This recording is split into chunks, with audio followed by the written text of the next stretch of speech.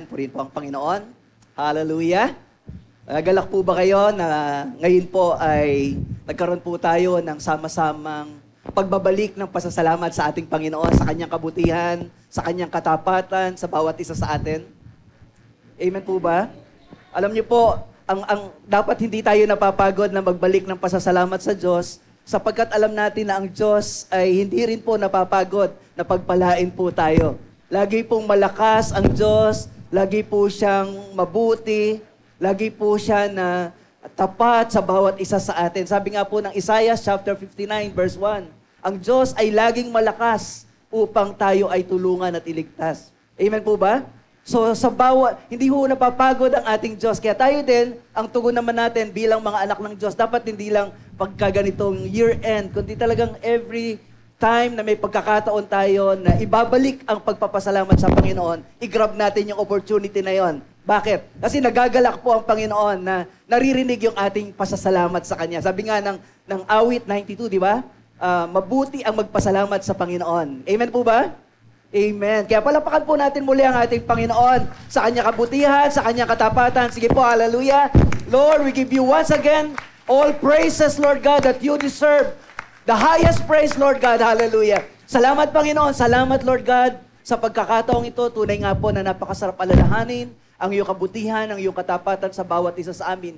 At hindi lamang namin aalalahanin ang kabutihan mo. O Diyos, lagi mong ipinapadama sa amin sa bawat sandali ng aming mga buhay ang iyong katapatan, ang iyong kabutihan, sapagkat ikaw ang Diyos na hindi nagbabago.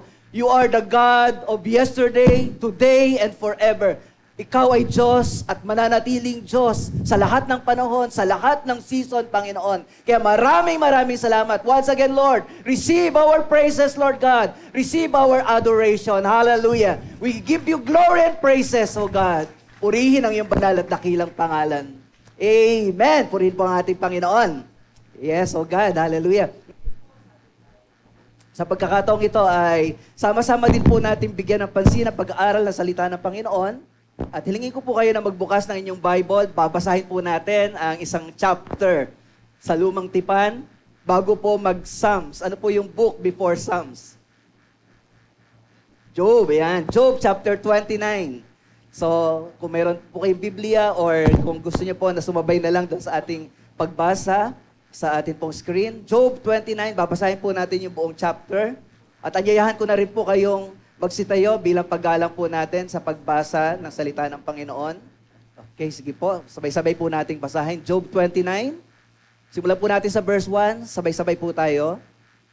Nagpatuloy si Job sa pagsasalita, Kung maibabalik ko lang yaong mga unang araw, noong ang Diyos sa akin ay palagi pang nagbabantay, nang ang liwanag niya sa akin pumapatnubay. Sige po, basa po. Siyang sa akin tanglaw, noon ako ay sagana, maluwag ang pamumuhay, iniingatan ng Diyos ang buo kong sambahayan. Noon, ang Diyos sa akin ay nakamasid, anong lapit, at ang aking mga anak lagi sa aking paligid. Masagana yaong gatas mula sa aking kawan, lumalago ang ulibo kahit na sa kabatuhan. Sa pagtungo ko noon sa pook ng kapulungan, upang makipagpulong sa matatanda ng bayan. Makita lang nila ako, tayuan ang kabataan. Yaon namang matatanda sa akin ay nagpupugay. Ito namang mga punoy, titigil na ng usapan, hindi sila makakibo. Ang bibig ay tinatakpan. Pati mga maharlikay na uumid at tahimik, hindi sila makakibo. Ni hindi nga makaimik Silang lahat ay sang-ayon basta ako ay marinig. At lahat ng makakita ay agad na pumapanig. Pag lumapit yaong dukha, tinutulungan ko kaagad. Ang ulilat walang-wala ay akin ding nililingap. Pinupuri ako niyong dumaranas ng kasawian, natulungang mga balo, tuwi, tuway hindi magkamayaw. Ang lagi kong sinisikap, ang katuwiran ay umiral Yaong bulag, mga pilay, ay akin ngang natulungan. Nagsilbi akong ama ng mga mahihirap, kahit di ko kilala, ay aking nililingap. Ang lakas ng masasama ay akin ding sinisira. Mga taong bihag nila'y sinisikap mapalaya. Matatag ang pag-asa kong hahaba ang aking buhay at di ako maghihirap sa oras ng kamatayan. Katulad ko'y punong kahoy na sagana sa patubig, pati na ang mga dahon ay palaging nadidilig. Akala ko'y di kukupas yaong aking katanyagan, ganoon din naman itong taglay na kapangyarihan. Sa mga payo ko sila'y nananabik at buong taimtim silang nakikinig.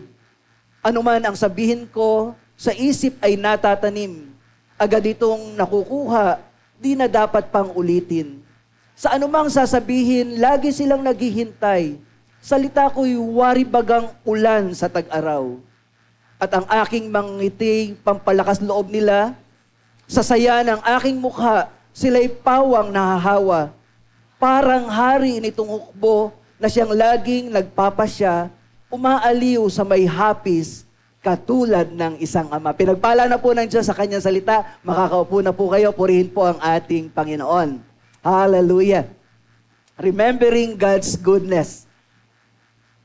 Alam ko po na napakabuti talaga ng Diyos sa bawat isa sa atin at kanina yun nga po yung ginawa natin. Bagamat hindi po sapat ang oras para bawat isa ay magkaroon ng, ng kanya-kanya pong kapahayagan kung gaano kabuti ang Diyos. Pero somehow, inalala po natin, bawat isa sa atin na sa loob ng isang taon, nakita natin kung gaano kabuti ang Diyos, kung gaano kadakila ang Diyos sa ating mga buhay. Kaya purihin po ang ating Diyos dahil alam natin siya po ay makapangyarihan at tunay nga po na sinamahan tayo ng Diyos sa buong taon na lumipas. Matatapos na po ang taon at ngayon po ay tatawid na po tayo sa 2024. Pero bago po natin salubungin ang, ang 2024, ay hayaan natin na ang salita ng Diyos minsan pa ang magbigay po ng, ng katatagan, magbigay ng kaaliwan, kung paano po natin muli haharapin ang 2024, kung paano pinagtagumpay tayo ng Diyos ngayong 2023, ay muli sa pamamagitan ng salita ng Diyos ay pasalamatan natin siya at harapin natin ang 2024 na nandoon ang pag-asa na alam natin kung paano ang 2023 ay isang matagumpay na taon ay ganon pa din ang gagawin ng Panginoon sa bawat isa sa atin sa pagharap po natin ngayong 2023 sa bagong taon pong dadating.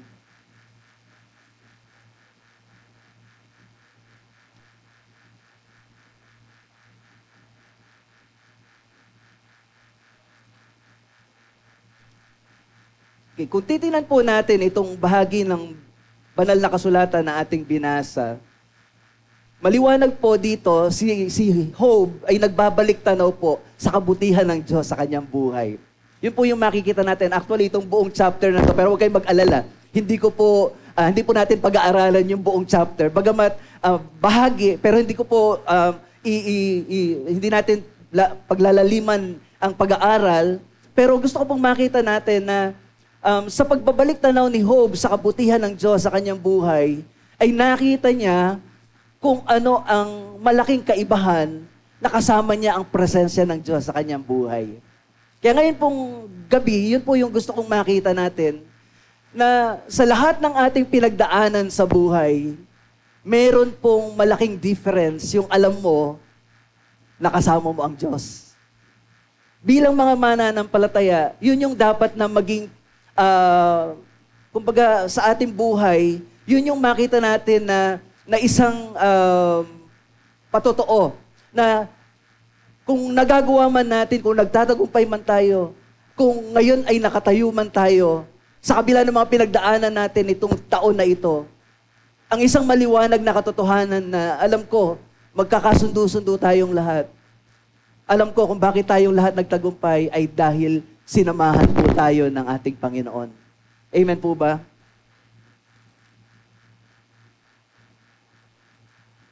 What difference can God's presence make in the life of His children? Si Job, nakita po niya kung ano ang kaibahan na ramdam niya, alam niya yung katotohanan na sa buhay niya ay kasama niya ang Diyos. Kaya nga pag binasa natin itong buong chapter na ito, makikita natin dito na si Job Yun po yung nakita niya na malaking kaibahan sa kanyang buhay. Na, doon sa kanyang pagbabalik tanaw, nakita niya yung kaibahan na conscious siya sa presensya ng Diyos sa kanyang buhay. At kung titingnan po natin dito sa buong chapter na ito, makikita natin ang ilang mahalagang katotohanan kung ano yung pagkakaiba, malaking pagkakaiba na ramdam natin o alam natin na ang presensya ng Diyos ay nasa atin. Kaya sasagutin po natin yung tanong na, what does having the presence of God with us mean? Ano bang ibig sabihin na alam natin na kasama natin ang Diyos? At mula po dito sa buhay ni Job, ay yun po yung gusto kong makita natin. Very conscious si Job na sa lahat ng mga pinagdaanan niya sa kanyang buhay, alam niya, ando ang presence ng Diyos sa kanya. At alam ko na yun din ang nais ng Diyos sa bawat isa sa atin. At bahagi po na pag-aaral natin ngayong gabi ay gusto ko ring ipatotoo sa inyo kung paano din po nakita ko din yung, yung big difference of um, having the presence of God in my life and even sa, sa family po namin.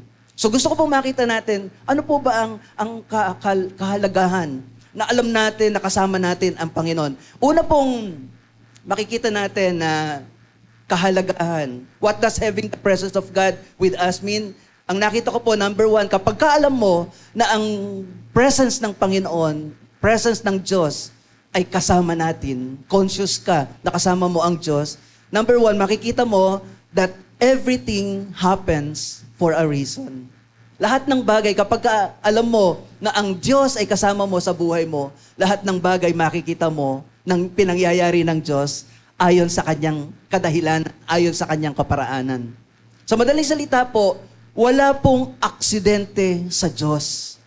Wala pong coincidence sa Diyos.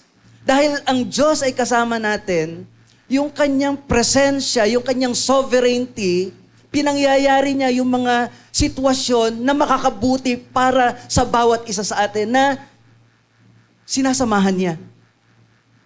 Kaya nga, dito pa lang sa start ng verses 1 hanggang 3, ay makikita na po natin yung uh, patotoo ni Job kung gaano niya natyak sa kanyang buhay na naroroon ang presensya ng Diyos. Ang sabi po dito sa Job 29 verses 1 hanggang 3, sabi nagpatuloy si Job sa pagsasalita, kung maibabalik ko lang yaong mga unang araw noong ang Diyos sa akin ay palagi pang nagbabantay, nang ang liwanag niya sa akin pumapatnubay, sa paglakad ko sa dilim, siya ang sa akin tanglaw. Sabi sa NIV, Job continued his dis- discourse, How I long for the months gone by, for the days when God watched over me, when His lamp shone upon my head, and by His light I walked through darkness. So sa kanya pagbabalik tanaw, nakita ni Job kung gaano ang buhay na naroroon ang presensya ng Panginoon ay isang magandang buhay. Nakita ni Job na doon sa pagsama ng Panginoon sa kanya, naranasan niya ang katapatan at kabutihan ng Diyos. At alam ko, hindi lang si Job, kundi maging sa bawat isa sa atin, kapag ka-conscious tayo na kasama natin ang Panginoon, Katulad ni Job, ay masasabi din natin na lahat ng nangyayari sa ating buhay, masasabi natin, pinangyayari ng Diyos bilang sovereign God, na ito'y pinangyayari niya para sa kabubuti natin. Because of God's sovereignty, siya yung Diyos na may control ng lahat ng bagay. Kasama na po dyan, maging yung mga maliliit, kahit maliliit na, na aspeto ng buhay natin, concern ang Diyos. Sabi nga ng banal na kasulatan, di ba? Ang kanyang mata ay laging nakatuon sa mga matuwid at ang kanyang pandinig ay laging nakalaan sa kanilang mga dalangin. So pansinin nyo, kanino lang nakatingin ang Panginoon, kanino nakalaan ang kanyang prayer? Sa mga matuwid, sa mga pinili na siya ay, yung presensya ng Diyos ay manatili sa mga lingkod ng Diyos. Pero yung mga masasama, nakikita din niya ng Diyos. Kasi siya ay matuwid na Diyos at yung mga ginagawa ng masama, alam din niya ng Diyos. Kaya nga, kapag ka siya ay kumatol, matuwid siyang hakatol. Bakit? Kasi alam niya ang ginagawa ng mga masama. Pero, ang maganda dito, kapag ka tayo ay Dahil pinili natin ang pagsama ng Diyos sa bawat isa sa atin, lahat ng mga bagay ay ipinahihintulot ng Diyos na mangyari para sa ikabubuti ng bawat isa sa atin. Para lang yon sa mga nagmamahal sa Diyos. Amen po ba? Yan po sinabi ng Romans chapter 8 verse 28. God, sabi nga, all things work together for good to those that love Him those that are called according to His purpose. So lahat ng nararanasan natin, maliliit man na mga sitwasyon o malalaking sitwasyon ng ating mga buhay, mga sitwasyon na parang wala sa ating control, lahat ng yan ay may pahintulot ng Diyos. Everything happens for a reason. At ang sabi po niya dito sa ating um, binasa na bahagi ng banal na kasulatan, even si Job, kasi nga po, Bagamat kasama niya ang Diyos, pero sabi niya, nakaka-experience din siya ng darkness sa buhay niya. Ibig sabihin po nun, kapag kakasama natin ang Diyos, hindi ibig sabihin ay puro liwanag. Pero dito sinabi ni Job na sa kabila na siya ay nakaka-experience ng kadiliman, pero alam niya ang Diyos ang nagpo-protect sa kanya, ang Diyos ang nagsisilbing liwanag sa kanya. Kaya yun po yung pagiging conscious ng presence ng Diyos sa atin. Kapag ka alam mo na ang Diyos ay kasama mo, kahit na doon sa darkest time of your life, alam mo na hindi ka pinababayaan ng Diyos. Alam mo na hindi ka nag-iisa. Bakit? Kasi maliwanag sa iyo, lahat ng bagay, alam ng Diyos, pinangyayari ng Diyos. Kaya nagtitiwala ka sa Kanya. At siguro po, meron, marami sa atin dito naka-experience na po na uh, pumasok sa isang madilim na, na kwarto o madilim na lugar Siguro lahat naman po no, may karanasan na po pagpasok sa madilim na lugar. Pansinin niyo po, pag pumasok po kayo doon sa isang madilim na lugar, sa una, parang wala kang makita, kakapaka-paka. Pero ang kailangan mo lang gawin, kumbaga mag-pause ka lang ng ilang seconds. At doon sa panahon na ikaw ay tumigil, unti-unti, pag, pagtingin mo sa paligid mo, parang nakakaaninag ka na. Parang nakikita mo na yung, yung paligid mo. Pero actually, madilim pa din. Pero dahil tumigil ka pansamantala, somehow parang meron ka ng naaaninag. At doon sa mga ganong sitwasyon ng ating buhay na minsan parang nasa darkest moment tayo ng ating mga buhay, and we pray, di ba, minsan nananalangin tayo kasi humihingi tayo ng direction sa Panginoon. At doon sa panalangin natin, we pause and we pray. Somehow, binibigyan tayo ng linaw, ng liwanag ng Diyos. Kasi siya ang ating liwanag. At yun ang patotoo ni Job. Yun yung kanyang naranasan. Nung kasama niya ang Diyos, kahit na dun sa panahon na parang nasa kadiliman siya, nakita niya ang liwanag ng Diyos na gumagabay sa kanya. Kaya ang ibig sabihin po nito, mga kapatid sa Panginoon, hindi ibig sabihin na minsan ay uh, hindi natin naintindihan yung nangyayari sa ating buhay itong nakarang 2023. Hindi ko alam kung ano man yung mga mabibigat na sitwasyon na pinagdaanan ng bawat isa sa inyo. Hindi ko alam kung kung yung inyong faith ay kumbaga na, na-shake dahil may mga sitwasyon kayong pinagdaanan, maaring health concern, maaring sa relasyon sa pamilya o ano pa man, at na maaring masabi nyo na parang yun yung medyo darkest moment of your life. Pero dun sa panahon na yon na hindi ninyo maunawaan, pero nagtiwala kayo sa Diyos, nanalangin kayo sa Diyos, di ba somehow parang kumapit pa rin kayo, nagtiwala pa rin kayo. At ito, totoo, kasi nandito pa rin tayo ngayong sa panahon na ito na nagbabalik ng pasasalamat sa Panginoon. Bakit? Kasi ang nakita po natin ay yung pagsama ng Diyos doon sa mga pinagdaanan natin. God help us to endure yung mga mabibigat na sitwasyon na pinagdaanan natin. At ito yung inaalala dito ni Job sa panahon na ito yung kabutihan ng Diyos sa kanyang buhay, yung presensya ng Diyos sa kanyang buhay. So when you know that God's presence is with you, ang itiyak ko po sa inyo, you will know that everything happens in your life for a reason. Lahat ng bagay, sa Diyos walang aksidente. Yung mga delays natin, akala natin, bakit hindi agad nangyari? Sa Diyos, laging tama ang oras ng Diyos ang oras lang natin minsan ang hindi makasabay sa oras ng Diyos. Pero everything happens for a reason. Kaya dapat nating maunawaan yon. Kasama ko ang Diyos. Lord, bahala ka po. Minsan hindi ko maintindihan ang plano mo. Minsan parang madilim itong sitwasyon ko. Pero ikaw ang aking liwanag. Tutulungan mo ko na makalagpas sa madilim na sitwasyon na ito ng aking buhay. Amen po ba? Ikalawa po, gusto ko makita natin na ang presence din ng Panginoon ay nangangahulugan po ito ng pag-overflow ng kanyang blessing, hindi lamang sa iyong buhay, kundi maging sa iyong pamilya. Kapag ka-conscious ka sa presence ng Diyos, sinasamahan ka ng Diyos, na lahat ng bagay ay pinangyayari niya sa iyo, makikita mo na dahil ang Panginoon ay kasama mo, hindi lang ikaw makakaranas ng pagpapala, kundi maging sa pamilya mo, mag-overflow ang blessing. Sabi po dito sa verse 4 at saka verse 5, sabi niya, noon ako ay sagana. So inaalala niya yung sitwasyon niya, nakasama niya ang Panginoon. Noon ako ay sagana, maluwag ang pamumuhay, iniingatan ng Diyos ang buo kong sambahayan. Noon ang Diyos sa akin ay nakamasid, anong lapit, at ang aking mga anak lagi sa aking paligid. Kumbaga dito nakikita ni Job, yung isang magandang bunga ng presence ng Diyos sa buhay niya, yung relationship niya sa kanyang mahal sa buhay, yung sa kanyang pamilya, na-enjoy niya. Na hindi man sabihing saganang-sagana, pero alam niya na dahil sa presence ng Panginoon, binibless siya ng Diyos at nag-overflow yung blessing na yon kasama doon sa kanyang mga mahal sa buhay.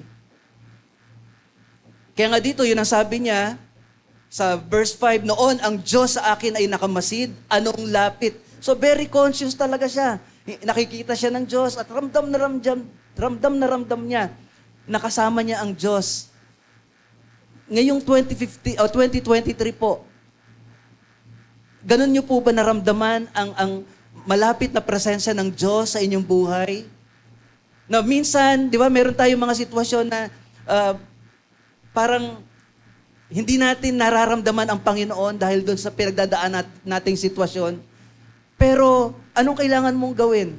Kailangan mo lang uli na um, i-focus ang sarili mo sa sa Panginoon at damahin ang kanyang presensya, mangusap siya mula sa kanyang salita, sa pananalangin, at makikita mo na andun, andun ang Panginoon, hindi kanya iniiwanan, hindi kanya pinababayaan. Kaya yun yung naging experience din ni Job. Sabi niya, noon nakita niya, alam niya na ang Diyos ay nakamasid sa kanya at napakalapit ng presensya ng Diyos sa kanya. At hindi lang siya ang pinagpapala, kundi maging yung kanyang buong sambahayan. At ano pa po ang makikita natin na pagpapala na alam natin na ang presensya ng Diyos ay kasama natin. Number three ay makikita natin yung hindi lang overflow ng blessing maging sa ating family, maging yung unstoppable blessing na kahit na against all odds, hindi talaga para sa'yo. Anina nga, ang ganda ng mga patotoo eh. Uh, kay, kay Justin, parang meron, nagkaroon ng turn around na hindi naman dapat na, pero naging honor pa. Kumbaga, against all odds, pero dahil anak ka ng Diyos, dahil kasama mo ang Diyos, hindi papayag ang Diyos na hindi yan ibigay sa iyo. Kasi para talaga sa iyo yan. Dahil sumusunod ka sa Kanya. At sabi po dito ng, ng verse 6, pansinin niyo po, sabi po ng verse 6, Masagana yaong gatas mula sa aking kawan, lumalago ang olibo kahit na sa kabatuhan. Imagine niyo po, hindi po tutubo ang halaman, ang, ang, ang binhi ay dapat yan sa, sa, sa lupa. Pero ang sabi, kapag ka ang Diyos ay kasama mo, sabi ng ni Job, naranasan niya, na kahit yung olibo, kahit nasa batuhan, tumutubo. So unstoppable yung pagdaloy ng pagpapala because of God's presence in his life. At dito po, yun po yung uh, makikita natin na nakalagayan po ni Job na sa sobrang daloy ng blessing ng Diyos sa kanya, sa, kahit sa panahon ng kawalan, ay naranasan pa rin niya yung pagpapala ng Diyos. Yun bang dahil na dahil lugod na lugod ang Diyos, lahat ng ginagawa mo ay nakikita mo yung pabor ng Diyos. Pag sinabing pabor, hindi yan hindi mo deserve yan. Kumbaga talagang dahil sabi nga kanina ni Bidam, hindi yun dahil sa height, hindi yun dahil, di ba? Napakagandang i-recognize nun. Ibig sabihin talaga sinasabi mo na all of this ay by God's grace. So ganun din po. Kumbaga sa ating buhay po, ipinaparanas ng Diyos ang mga mabubuting bagay dahil pinili natin yung kanyang presensya sumama sa atin. At kapag ka ang presensya ng Diyos ay kasama natin, hindi pwedeng hindi niya aabutin ang ating pangangailangan. Bakit pa niya sa tayo sasamahan kung hindi naman niya tayo tutulungan? Di ba? Kaya sa aklat po ng Genesis chapter 26, makikita po natin na meron din pong sitwasyon dito si Isaac, kung paano po na sa pamamagitan po ni Abraham na sumunod kay Yahweh, nag-overflow yung blessing ng Diyos kay Isaac. Ang sabi po ng Genesis 26, tulad ng nangyari ng panahon ni Abraham, nagkaroon uli ng tagutom sa lupain ng Kanaan, kaya nakarating si Isaac sa Gerar, sakop ni Abimelech na hari ng mga Filisteo. Napakita si Yahweh kay Isaac at ang sabi, huwag kang pupunta sa Ehipto doon ka tumira sa lupaing ituturo ko sa iyo. Dito ka muna, ako'y sasa iyo at pagpapalain kita. Ibibigay ko sa iyo at sa iyong lahi ang buong lupaing ito tulad ng aking pangako sa iyong amang si Abraham. Pararamihin kong gaya ng mga bituin ang iyong lahi at lahat ng lupaing ito'y ibibigay ko sa kanila at hihilingin sa Hihilingin sa akin ang lahat ng bansa sa daigdig na sila'y pagpalain ko tulad ng ginagawa ko sa iyong angkan. Pagpapalain kita dahil kay Abraham, pagkat sinunod niya ako at tinupad ang aking mga utos. Naranasan ni Isaac yung panahon ng tagutom, katulad din ng naranasan ng kanyang, nuno, ng kanyang tatay na si Abraham. Ngunit dahil kasama niya ang Diyos, sa halip na maranasan niya yung epekto ng tagutom, hindi siya pinabayaan ng bagpos, pinagpala siya. At ang sabi, ito po ang sekreto, verse 2. Sabi po ng uh, Diyos kay Abraham, huwag kang pupunta sa Ehipto. Doon ka tumira sa lupaing ituturo ko sa iyo. Dito ka tumira, ako'y sasa iyo at pagpapalain kita. Ibibigay ko sa iyo at sa iyong lahi ang buong lupaing ito tulad ng aking pangako sa iyong amang si Abraham.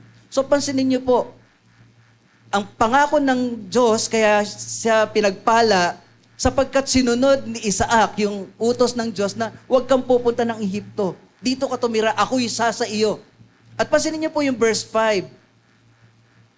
Ano po yung sabi ng verse 5? Pagpapalain kita dahil kay Abraham, pagkat sinunod niya ako at tinupad ang aking mga utos. So, gusto ko pong mapansin natin dito, mga kapatid na ang Diyos ay pinagpala si Isaac dahil po sa pagsunod ni Abraham. Ibig sabihin, yung overflow ng blessing kay Isaac, nararanasan niya because of the faithfulness of his father. Nag-overflow yung pagpapala ng Diyos kay Isaac dahil nakita ng Diyos ang katapatan ni Abraham sa kanya. Na ano po ibig sabihin nito sa bawat isa sa atin, mga kapatid? Makikita po natin dito na marami po sa mga pagpapalang tinatamasa natin ngayon, it is not because of an answered prayer. May mga pagkakataon na pinagpapala tayo ng Diyos, hindi dahil ipinag-pray natin. Kung hindi ito ay overflow, dahil may nagmamahal sa atin, may nagmamalasakit sa atin, nagpipray sa atin, maborn again ka, mabago ang buhay mo. Hindi dahil sa ating ginawa, kundi merong mga nanalangin sa atin, may nagmamahal sa atin at gusto nila na maranasan yung kabutihan ng Diyos. At anong nangyari? Dahil sa paglapit natin sa presensya ng Diyos, may mga bagay na hindi tayo dinalangin pero ibinibigay ng Panginoon sa atin. So yun po yung ginagawa ng Diyos. Kaya makikita nyo po, no? Napakahalaga po nito sa atin, mga kapatid sa Panginoon Napakahalaga po. Gusto ko pong maunawaan natin ito. Ang inyong pagsunod ngayon ay hindi na yan para sa inyong pagpapala lang. Andyan po ba kayo? Kung sumusunod po kayo sa Diyos, huwag po kayong maramot. Hindi lamang po yan para sa inyo. Ang inyong pagsunod ngayon ay pagpapalain ng Diyos yung next generation na i, maaaring dinadalangin ninyo na mag-flow ang blessing ng Diyos sa kanila. Sa pagsunod nyo ngayon, katulad ng nangyari kay Abraham, dahil sumunod si Abraham, si Isaac, ay pinagpala ng Diyos. Because of your obedience today, because of your faithfulness to God today, You are opening the doors of blessings to your loved ones, even to your next generations. Kaya ibig sabihin, kung sumusunod ka man sa Panginoon ngayon, hindi na yan para lang yan sa iyong sarili.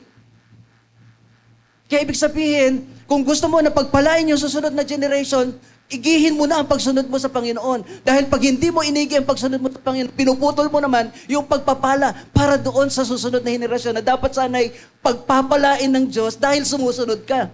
Andyan po ba kayo? Kaya ibig sabihin, yung faithfulness natin, given na yon Talagang hindi mo pa hinihingi, binibigay na ng Diyos eh. Kasi may nagbe-bless din sa'yo noon, may, may nagmamalasakit din sa'yo noon. Ngayon, ang buhay mo ng pagsunod ay dapat mong isipin na hindi lang yan para sa buhay mo na ngayon. Hindi lang yan para sa pagpapala mo ngayon. Inire-ready mo din ang pagbubukas ng pagpapala sa mga mahal mo sa buhay. Dahil sa pagsunod mo, binubuksan mo ang pagpapala para sa kanila. Mga kakilala mo, mga kaibigan mo, binubuksan mo ang pagpapala para sa kanila. Amen po ba? Kaya ibig sabihin, hindi tayo dapat maging maramot kasi pag hindi kayo naging faithful sa Lord, nagiging maramot kayo. Pinuputol nyo yung pagpapala na dapat sana'y dadaloy pa sa iba. Andiyan po ba kayo? Yun po yung makikita natin dito. Sige, mapulakpakan natin ang Panginoon. At totoo po ito, naranasan po ito ni, ni Isaac. Nung siya po ay um, nakaranas nga po ng, ng tagutom, pero dahil nanatili siya sa presensya ng Diyos, nanatili siya sa pagsunod sa kalooban ng Diyos, nakita niya na kahit na yung mga pagpapala na to ay hinahadlangan, bina, uh, tinatabunan, hindi nangyayari. Ang nangyayari pa rin, against all odds, ang nangyayari pa rin ay ang kalooban ng Diyos. Ang sabi po ng Genesis chapter 26, verses 12 hanggang 22, maganda po kasi ito sapagkat ito yung patotoo ng pagka ikaw ay anak ng Diyos at alam mo ang presence ng Panginoon nasa iyo, yung pagpapala na hinahadlangan, hindi kayang hadlangan dahil para talaga sa iyo yan. Kaya sabi po ng verse 12, tinan niyo po, si Isaac ay nagsaka ng taong iyon at makasandaang ibayo ang kanyang inani. So, ibig sabihin nun, kung nag, yung makasandaang ibayo, 100%, kung 10 ang tinanim mo, ang 100% ay 10 din. Ibig sabihin, kung ano yung tinanim mo, yun yung tumubo, walang namatay. Yun yung ibig sabihin ng 100% makasandaang ibayo. So lahat na buhay, at ano sabi ng verse 12, yung huling bahagi, bakit nangyari yon? Kasi pinagpala siya ni Yahweh. Pinagpala siya ni Yahweh, bakit? Kasi yung kanyang no, na, tatay na si Abraham ay sumunod kay Yahweh. Verse 13, At patuloy na lumago ang kanyang kabuhayan, ano pa siya yumaman? Nainggit sa kanya ang mga Filisteo sapagkat marami siyang alipin at mga kawan ng tupa at baka. Kaya tinabunan nila ang mga balong ginawa ng mga alipin ni Abraham noong ito'y nabubuhay pa. Sinabi ni Abimelech, umalis ka na Isaac, ikaw ay makapangyarihan na kaysa amin, dayuhan, mas yumaman pa. Kaya ang sabi, umalis si Isaac at doon tumigil sa kapatagan ng Gerar. Ipinahukay niya uli ang mga badlon ni Abraham na tinabunan ng mga Filisteo. At ang mga balong iyo'y tinawag ni Isaac sa dating tawag dito ng kanyang ama. Ang mga tauhan ni Isaac ay nakahukay ng isang malakas na bukal sa kapatagan. Ngunit inangkin ito ng mga taga-Gerar, kaya tinawag niya itong balon ng away, sapagkat sila'y inaway ng mga taga-roon. Nang makahukay uli sila, nakipagtalo na naman sa kanila ang mga taga-Gerar, kaya tinawag naman itong balon ng pagtatalo. Lumayo sila roon at humukay ng ibang balon. Wala nang umangkin nito, kaya tinawag niyang balon ng kalayaan. Uunlad tayo sa lupaing ito, wika niya, pagkat dito tayo binigyan ni Yahweh ng kalayaan. Tingnan niyo po, every time na maghuhukay sila ng balon, kailangan po nila mahalaga ang tubig, kailangan po nila ang tubig. Ito naman mga kalaban ni Isaac ay tatabunan. Sa halip ng papakinabangan yung balon, ay tatabunan. So, ibig sabihin, yung balon ng pagpapala ay tinatakpan para hindi mapakinabangan. Si Isaac naman hindi nakikipaglaban. Lilipat lang siya. Maghuhukay na naman siya at uh, ano yung hinuhukay niya? Yung mga balon din na ang tatay niya ang naggawa. Ibig sabihin, yung mga pundasyon na itinayo ng kanyang tatay, binabalikan lang ni Isaac. Kasi yung mga pundasyon na itinayo ng kanyang tatay, pagpapala yun sa kanya. So ganun din sa atin, sa ating paglilingkod sa Panginoon, um, yung nakikita ng mga anak natin na uri ng pagsunod natin at paglilingkod sa Panginoon, pag sinunod nila yon, pagpapala din ang hatid nun. Ngayon, dito nakita natin ano, na sabi, every time na tatakpan, tinatakpan yung pagpapala, lilipat lang si Isaac, magbubungkal na naman siya, tatakpan na naman. At kahit saan siya magpunta, laging tatakpan, pero makakasumpong na naman siya ng bagong pagpapala. Ta- kahit natakpan, makakasumpong na naman siya ng bagong pagpapala. Unstoppable. Ibig sabihin, hindi, nag, hindi tayo excuse, hindi tayo um, bilang mananampalataya, hindi tayo excuse doon sa mga pagtitake advantage ng mga tao. Pero makikita natin dito, hindi lumaban si Isaac. Still, nagtitiwala siya sa Diyos ng kanyang tatay. Nagtitiwala siya na kung paanong tumunod ng kanyang tatay kay Yahweh, siya din, mananatili lang siya sa pagsunod sa kanyang, sa, sa kanyang Diyos na piniling sundan. At ano ang ginawa ng Diyos? Yun nga po, every time na uh, magbubungkal sila, may pagpapala, puputulin, tapos mawawala hanggang later on, nanawa na po yung kalaban. Na, na, ah, na, natigil na. Uh, kahit anong gawin natin, uh, kahit anong sumpa dito, ay lalong pinagpapala pa, eh, pa mabigat itong kalaban. Amen po ba? Pag kasama natin ang Diyos, hindi tayo pababayaan ng Diyos. Totoo, minsan nalalagay tayo sa disadvantageous situation. Pero hindi tayo kailangan gumanti sa paraan ng tao. Kailangan natin gumawa ng ayon pa rin sa kalooban ng Diyos. And kapag ka sinarado yan ng tao, ang Diyos ang magbubukas because God owns everything. Ang katulad nga ng yung, yung engineer ni Brother Orly. Di ba? Ang kaisipan ng tao, hindi ka makakahuli ngayon kasi ala, ganitong oras, hindi dito talaga ganito ang pag, paghuli. Pero pag nagtiwala ka sa salita ng Panginoon, dahil siya ay kasama mo, Ika-guide ka niya sa, sa makabubuti sa'yo. Amen po ba? At ito po yung nangyari kay Isaac.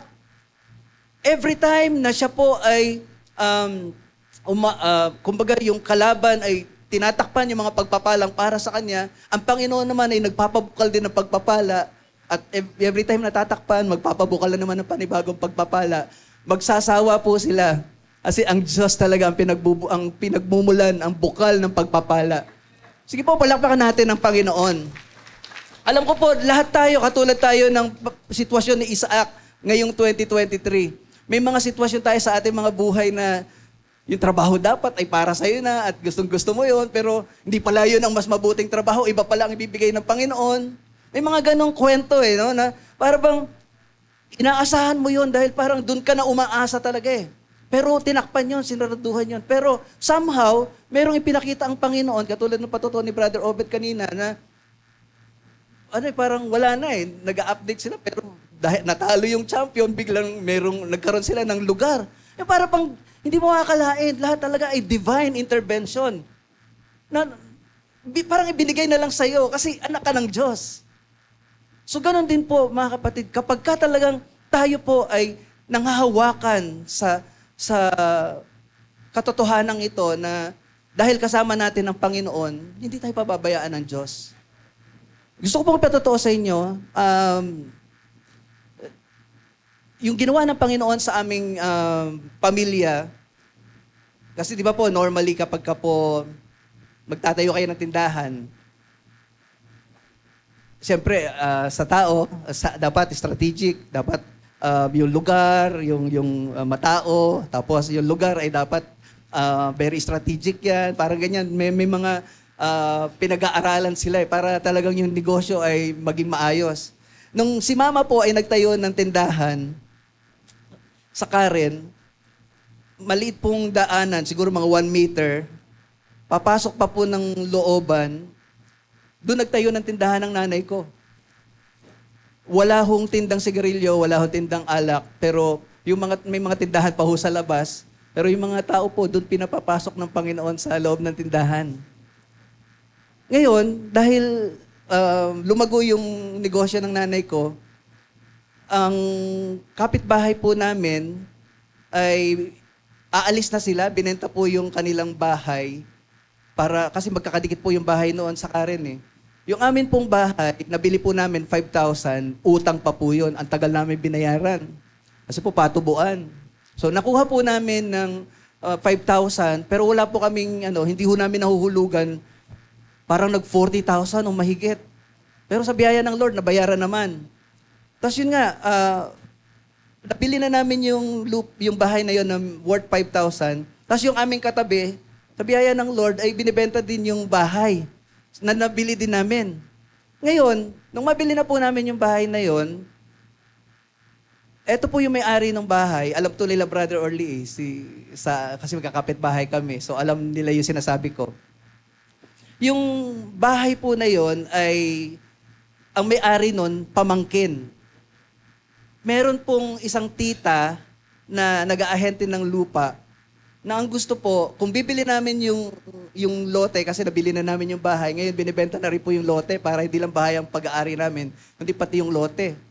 So, nagkasundo na po, babayaran na po namin yung lote para hindi na kami, may sarili na kaming bahay, may lote pa. Yung problema po, yung tita umapela. Kasi ahente po siya, dapat may commission siya. Eh nagagalit ho yung may-ari, yung pamangkin, dahil, kumbaga, direkta namang nakipag-usap, wala naman siya sa usapan, pero dahil tita daw siya, dapat may commission pa.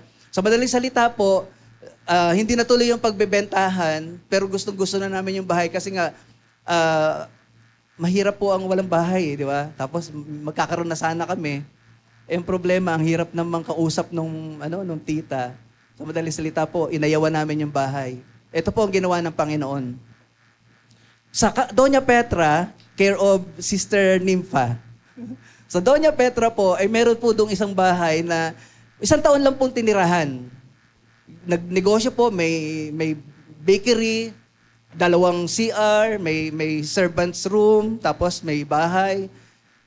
Binibenta po yun ng 800,000. Tapos may tumatawad ng 500,000 cash ibibigay.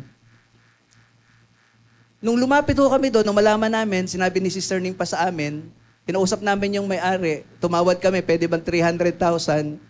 Tapos yung magdadaw lang kami, tapos um, huhulugan namin yung remaining. Alam niyo, pumayag. 800,000 binibenta, may bu- tumatawad ng 500,000 cash. Nung kami ang tumawad, 300,000, magdadaw lang kami ng 100, okay lang ho ba na yung kulang ay hulugan? Pumayag po. Nagtsatsaga ho kami doon sa ano, nakikipag-away kami doon sa aming lugar. Yung pala, may piniprepare na ang Diyos na mas maganda. Tinatabunan yung pagpapala na dapat sana ay para sa'yo. Pag ipinakipaglaban mo yon, ano mangyayari kung nakipag-away po kami doon at napunta kami doon, hindi namin mararanasan yung pagpapalang inihanda ng Panginoon para sa amin. Bakit po, bakit ko po sinishare ito sa inyo? Kasi gusto ko pong makita natin na ganong kumilos ang Diyos. Na minsan hindi natin nakikita yung kanyang kamay. Hindi natin nakikita yung kanyang paraan. Pero kung magtitiwala tayo, at sasabi, yung para bang, hayaan lang natin na mag-flow tayo doon sa gusto ng Panginoon until ma-realize natin na yun pala talaga ang kalooban niya. At yun nga po, kung, kung paanong si Isaac, tinatabunan yung mga pagpapalang para sa kanya, dinadala pala talaga siya ng Diyos para sa isang mas maayos na kalagayan. Kasi ul, ang ultimatum, ang sabi po doon sa binasa natin, pansinin niyo po yung um, later part, sa verse um, 22, sabi po dito ni ng, ng salita ng Panginoon, eto na po. Lumayo sila roon at humukay ng ibang balon at wala nang umangkin ito, kaya tinawag niyang balon ng kalayaan. Uunlad tayo sa lupaing ito, wika niya, pagkat dito tayo binigyan ni Yahweh ng kalayaan. So, kahit na hadlangan, tabunan, yung mga pagpapalang para sa atin, pero magtitiwala lang tayo sa kaparaanan ng Diyos, ang Diyos ang magdadala talaga sa atin doon sa pinakamabuti na plano niya sa atin. Mas makikita natin na mabuti pala ang magtiwala sa Diyos kaysa yung makipag-away tayo ng paraan ng sanglibutan. Pwede namin gawin yon. Pwede namin gawin yun, pero hindi po namin lahat ginawa yon. Basta talaga pong pinangunahan ko po ang, ang aking pamilya na wag na, ta- wag na natin, ano, hayaan na natin yan. Kasi meron pala talagang pagdadalhan ng Panginoon sa amin na mas maayos. At sa biyaya po ng Panginoon, ayun nga po, napunta kami ng Doña Petra. Pero later on, ay tinabunan din ng Panginoon yung pagpapala na yon kasi nga ah, hindi na rin, hindi na rin, di ba, lumulubog na, talagang Saan kami dinala ng Panginoon? Dinala kami ng Panginoon sa Sariaya. At sa biyaya po ng Panginoon, nagbukas na naman ang bagong pagpapala ang Panginoon. Meron po kami tinitirahan, bagamat hindi po sa amin, pero yung hindi ka na umuupa, ay ayaw mo pa ba nun? Di ba? Sa biyaya ng Lord na dahil sa pagsunod po namin sa Panginoon, ang dami niyang mga oportunidad na ibinukas bilang resulta ng pagsunod sa Panginoon. Kaya mga kapatid sa Panginoon, sa pag-alaala natin sa kabutihan ng Diyos, lagi, wag nating kakalimutan na lahat ng yan ay nangyayari dahil sinasamahan tayo lagi ng Diyos. Maring hindi man natin na-experience o nakikita ng, ng hayagan yung mga ginagawa niya, pero andyan ang Panginoon, meron siyang ginagawa. At ngayon po ang tanong, para po uh, dito po natin um, bigyan ng pansin yung atin pong pinag-aaralan. Paano natin mararanasan? Anong kailangan natin gawin para yung presensya ng Panginoon na nasa atin ay talagang yung pagpapala niya, maranasan natin. Ano kailangan natin gawin? Tatlong bagay lamang po. Number one, recognize what God's presence can make a difference in your life. Kailangan po, um, kilalanin natin yung katulad ni Isaac, kinilala niya. Pinili niya, sabi ng Diyos sa kanya, Isaac, huwag kang pumunta ng, ng Ehipto, dumito ka lang. Kaya nagpa siya si Isaac sinunod niya ang kalooban ng Diyos. So ganun din sa atin. We have to recognize, we have to choose na malaki ang magagawa ng presensya ng Diyos sa ating mga buhay. Ang sabi nga po ng Exodus chapter 23 verse 25 and 26, pansinin niyo po, ito po ang sabi ng banal na kasulatan. Worship the Lord your God and His blessing will be on your food and water. I will take away sickness from among you and none will miscarry or be barren in your land. I will give you a full life span. Ano po sinasabi dito? Ano yung worship? Worship is experiencing the presence of God. Amen po ba? Worship is experiencing the presence of God. Serving is experiencing the presence of God. So, dito po sinasabi sa atin na kapag ka pinili natin, kasi utos ng Diyos ito eh, worship the Lord your God and His blessing will be on your food and water. Dahil sa ating paglilingkod sa Diyos, dahil sa ating pagpili na sambahin ang Diyos, ang pangako ng Diyos, I will bless your food and water. I will take away sickness from among you. At ang sabi pa niya, and none will miscarry. Walang, walang ma, ano yun, makukunan. Walang makukunan. Hahaba ang inyong buhay. So ito'y pangako ng Panginoon para sa sino man na nagnanais na ang papala ang presensya ng Panginoon ay kanyang maranasan. At si Job po, yun po yung kanyang nakita sa kanyang buhay. Job saw what a big difference God's presence in his life was. Verses 7 hanggang 11, dito ay sinasabi ni Job, nakita niya na siya ay nakahihigit sa kanyang mga kababayan. Sabi nga, pag dumadating siya sa mga pagpupulong, tumitigil ang usapan, siya ang pinakikinggan. So yung makikita natin dito na um, si Job ay itinataas, tinaas ng Diyos.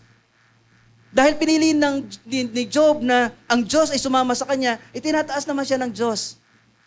At ganun din ang pangako ng Diyos sa atin, you will be head and not tail. Kapag tayo ay sinasamahan ng Panginoon, yun ang gagawin ng Panginoon. Kaya makita niyo mga kabataan natin, ginagamit sila, may mga leadership skills, may mga, sila yung ginagamit ng Panginoon para sa mga uh, maibantog ang pangalan ng Panginoon. Bakit? Kasi bilang mga anak ng Diyos at kasama natin ang presensya ng Diyos, ay pinapakita ng Panginoon na siya ang nagtataas sa atin at siya ang naluluwalhati. Verses 12 hanggang 16 ay pinapakita naman din dito kung gaano kahalaga yung pagiging influential. Na sabi nga ni Job, yung mga may nangangailangan, yung mga bulag, yung mga, basta kung sino man yung mga nangangailangan, andun si Job, tinutulungan niya itong mga taong ito. So, dito pinapakita sa atin kung gaano kahalaga yung pagiging influential. Kaya ka pala minsan pinagpapala ng Diyos, hindi para mag-accumulate lang ng pagpapala, kundi yung mga nangangailangan, matulungan mo din. Upang itong mga natutulungan mo, ano nangyayari?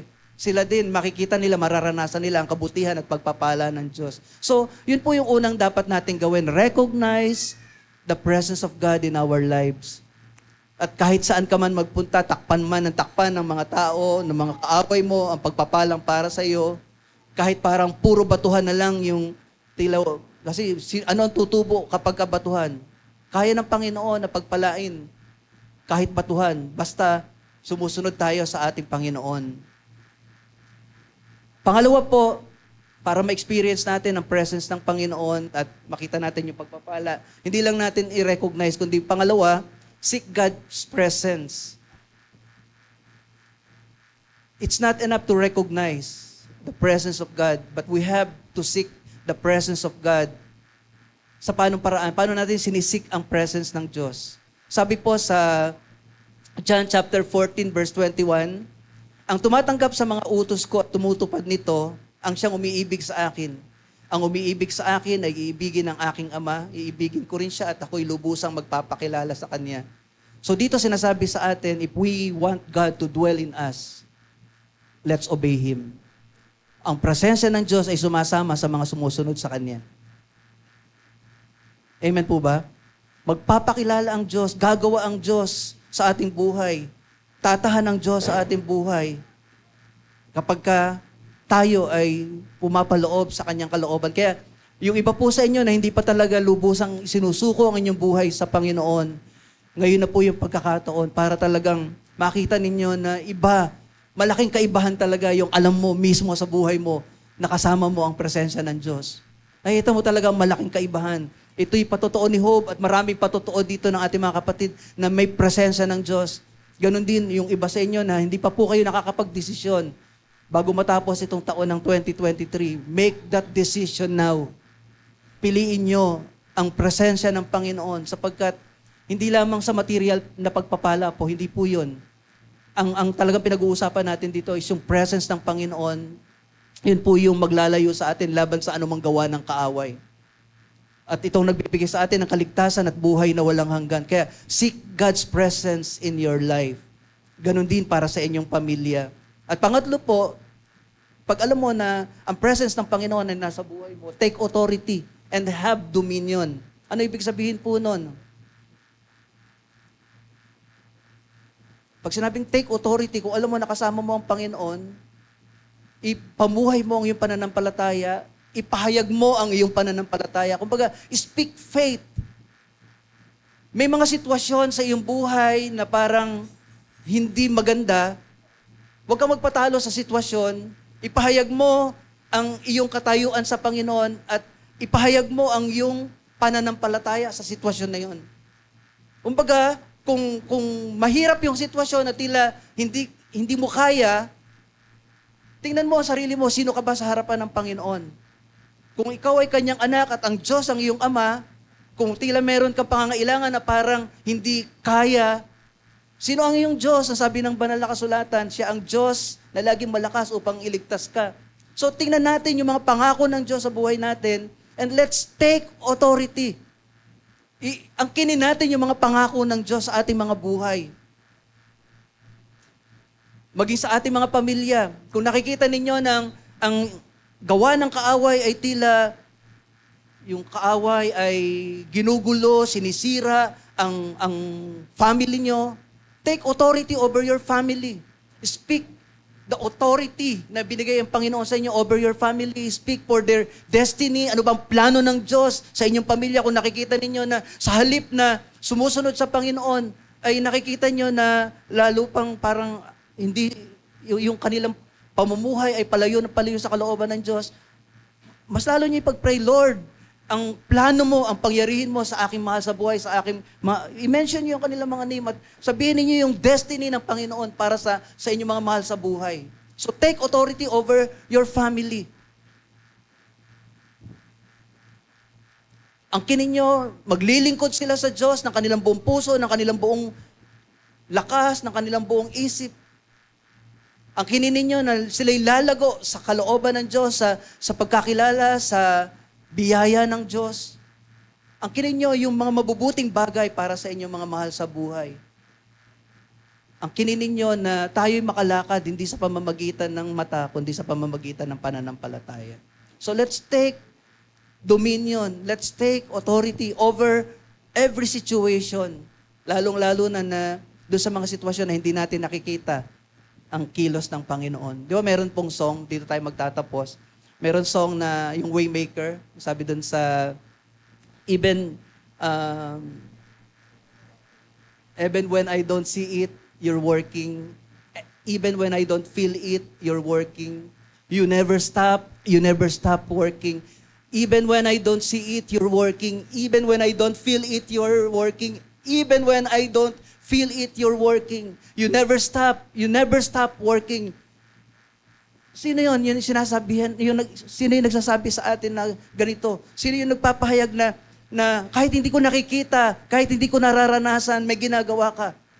Siya yung nagsasalita dahil alam niya yung presence ng Panginoon nasa kanya. Siya yung makapagpapahayag na alam ko kahit hindi ko nakikita yung gawa mo, pero dahil kasama kita, may gagawin ka sa sitwasyon ko. Because you are waymaker, miracle worker, promise keeper. Amen po ba? Kaya ngayon pong pagharap natin ng 2024, yun po yung angkinin natin. Yung Diyos na nagtawid sa atin ng 2023, may iba't ibang mga masasalimuko tayo, mga pinagdaanan. Pero sa kabila ng lahat ng yun, dahil sa presence ng Panginoon, we were able to overcome. At sama-sama nating angkinin. May mga sitwasyon sa buhay natin na hindi natin nakikita ang kilos ng Diyos, hindi natin nararamdaman ng Diyos, pero alam natin gumagawa siya sa atin. At patuloy pa siyang gagawa ngayong 2024. Higit pang dakilang gawa ang gagawin ng Diyos sa buhay ng bawat isa sa atin. Amen?